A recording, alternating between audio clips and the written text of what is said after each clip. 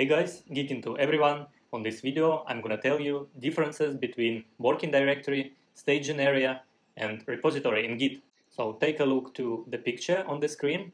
All these three places, working directory, staging area and repository in Git is the places where file changes can reside. Let's start with the working directory. So when you already initialize the Git on your operational system, and imagine you work on the project and made some changes. For example, you create a file and write a code inside this file. In this way, you are dealing with your project working directory. This project working directory is available on your computer file system. And all the changes you make will remain in the working directory. So you created a file and wrote some code inside and now the status of this file is untracked. That means Git doesn't know about changes you made. If you want to let Git know about changes, you have to move these changes. In our case, it is the file with the code. You have to move this file into staging area. To move the file into staging area, you have to run git add command. What is this changing area? Changing area is an area which helps Git knows what are differences between current commit and future commit. Staging area can be described as a preview of your next commit. By the way, it is possible to add changes into staging area and it's possible to remove these changes from staging area as well. Staging area can be considered as a real area where a Git stores changes. So, and last entity is a Git repository. If you want to save changes into Git file system, you have to run git commit command. By this command, you can save all changes from staging area to Git file system, to Git repository. So Git repository is a data structure used to store metadata for sets of files and directories. Git repository contains the collection of files as well as the history of changes made of those files. So if you want to check what is going on on Git, you can use git status command. By git status command, you can check status of changes you made. So let's check it out how it works in practical way.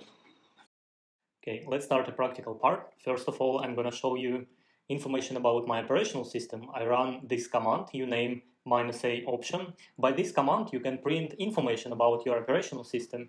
You see Ubuntu and I highlight the version, so uh, let's clear the terminal. Uh, on my current working directory, uh, on the directory git dir, I created this directory for the git repository. To initialize git, you have to type git init. Uh, and then you can specify the path where you want to initialize the git repository, or you can just run this command inside the directory when you want to initialize repository. Okay, and you see on the output initialize empty git repository in my current working directory. Okay, first of all, I'm gonna show you git status command. Uh, by this command, you can get information what's going on on your repository. Okay, there is nothing special, you know, and let's create a file, name file. Okay, and then type git status.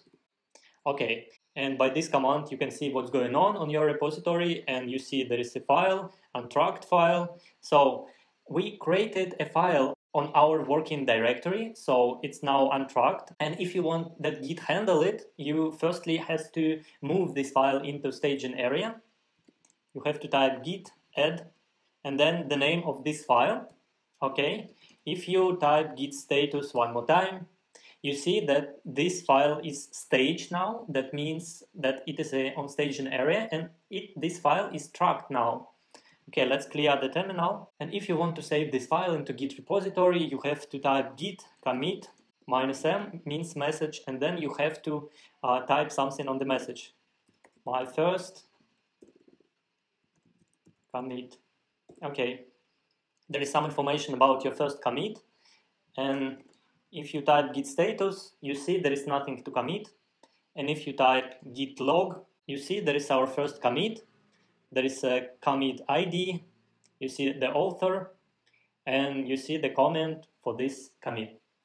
So, thanks guys for watching this video. I hope it was useful for you and you enjoy it. Please subscribe and like this video. Ciao, ciao.